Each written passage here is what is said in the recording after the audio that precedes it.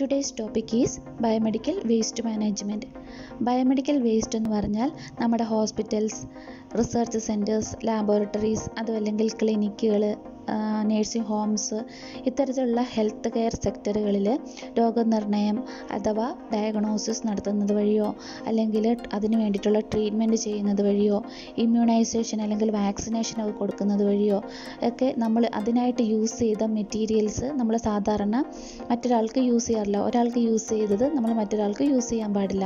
അപ്പോൾ ഇത്തരത്തിൽ കിട്ടുന്ന വേസ്റ്റുകളെയാണ് നമ്മൾ ബയോമെഡിക്കൽ വേസ്റ്റ് എന്ന് പറയുന്നത്.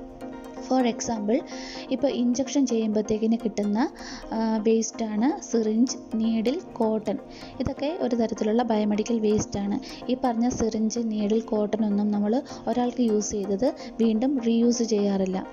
ഈ ബയോമെഡിക്കൽ വേസ്റ്റ് മാനേജ്മെന്റ് അഥവാ എങ്ങനെയാണ് ഈ ബയോമെഡിക്കൽ വേസ്റ്റ് ഏത് തരത്തിലാണ് ഡിസ്പോസ് ചെയ്യേണ്ടത് എന്നുള്ള റൂൾ നിലവിൽ വന്നത് ആയിരത്തി തൊള്ളായിരത്തി തൊണ്ണൂറ്റി എട്ടിലാണ് ഓരോ തരത്തിലുള്ള വേസ്റ്റും ഓരോ കളർ കോഡിലുള്ള ബാഗുകളിലാണ് ഡിസ്പോസ് ചെയ്യേണ്ടത്. ബാഗുകൾ അല്ലെങ്കിൽ പക്കറ്റുകളിലാണ് ഡിസ്പോസ് ചെയ്യേണ്ടത്.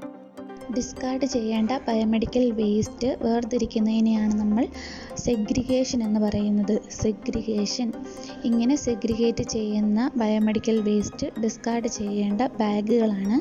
ഒന്ന് yellow bag red bag blue bag blue or white puncture proof container yellow red blue blue or white puncture proof container yellow ബാഗിനകത്ത് discard ചെയ്യേണ്ട വേസ്റ്റുകളാണ് ഹ്യൂമൻ അനാട്ടമിക്കൽ വേസ്റ്റ് അതിനകത്ത് human tissues amputated part placenta ഇതൊക്കെ നമുക്ക് yellow ബാഗിനകത്ത് discard ചെയ്യാം.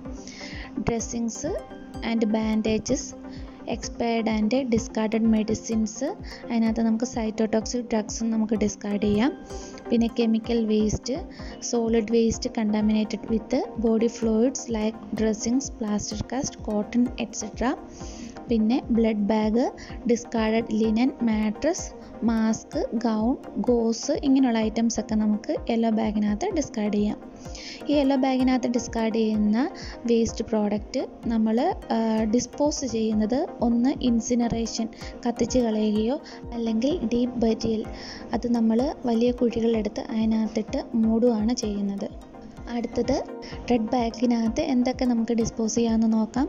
Disposable plastic and rubber items plastic ഐറ്റംസും rubber ഐറ്റംസും നമുക്ക് ഡിസ്പോസ് ചെയ്യാം റെഡ് ബാഗിനകത്ത് അതിനകത്ത് tubings I V set catheter N G tube അതേപോലെ തന്നെ used gloves specimen container uro bag vacutainer syringe needle cap cannula ഇങ്ങനെയുള്ള ഐറ്റംസ് അതായത് പ്ലാസ്റ്റിക്കോ അല്ലെങ്കിൽ റബ്ബർ ഐറ്റംസ് ഒക്കെ നമ്മൾ ഡിസ്കാർഡ് ചെയ്യേണ്ടത് റെഡ് ബാഗിനകത്താണ് ഈ റെഡ് ബാഗിനകത്ത് ഡിസ്പോസ് ചെയ്യുന്ന ഐറ്റംസ് നമ്മൾ ഡിസ്കാർഡ് ചെയ്യേണ്ടത് ഒന്ന് ഓട്ടോക്ലേവിങ് അല്ലെങ്കിൽ മൈക്രോവേവിങ് അല്ലെങ്കിൽ കെമിക്കൽ ട്രീറ്റ്മെന്റ് കഴിഞ്ഞിട്ട് നമ്മൾ റീസൈക്ലിങ്ങിന് വേണ്ടിയിട്ട് സെൻഡ് ചെയ്യും. അടുത്തത് ബ്ലൂ ബാഗ് ബ്ലൂ ബാഗിനകത്ത് നമ്മൾ ഡിസ്പോസ് ചെയ്യേണ്ടത് ഗ്ലാസ് ഐറ്റംസ് ആണ്. അതിൽ vials ampoules glass bottles glass light അതേപോലെ തന്നെ മെറ്റാലിക് ബോഡി ഇംപ്ലാന്റ് ഇതൊക്കെ നമുക്ക് ബ്ലൂ ബാഗിനകത്ത് ഡിസ്പോസ് ചെയ്യാം. ബ്ലൂ ബാഗിനകത്ത് ഡിസ്പോസ് ചെയ്യുന്ന ഐറ്റംസ് നമ്മൾ ഡിസ്കാർഡ് ചെയ്യേണ്ടത്. ഡിസ്ഇൻഫെക്ഷൻ അല്ലെങ്കിൽ ഓട്ടോക്ലേവിങ് അല്ലെങ്കിൽ മൈക്രോവേവിങ് രീതികൾ ഉപയോഗിച്ചിട്ടാണ്. അടുത്തത് white or blue puncture proof container ഇത് ഒരു കണ്ടെയ്നറാണ് ഈ കണ്ടെയ്നർ ബ്ലൂ കളറിൽ അല്ലെങ്കിൽ വൈറ്റ് കളറിലെ കണ്ടെയ്നർ ആയിരിക്കണം. ഈ കണ്ടെയ്നറിനകത്ത് നമ്മൾ ഡിസ്പോസ് ചെയ്യേണ്ട ഐറ്റംസ് ആണ്.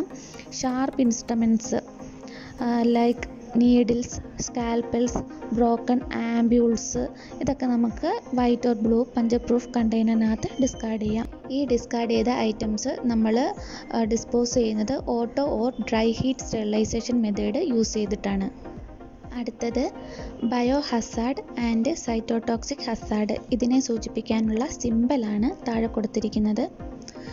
ബയോ ഹസാഡിനെ ബയോളജിക്കൽ ഹസാഡ് എന്നും പറയാറുണ്ട്. എല്ലാവർക്കും മനസ്സിലായി എന്ന് വിചാരിക്കുന്നു. താങ്ക്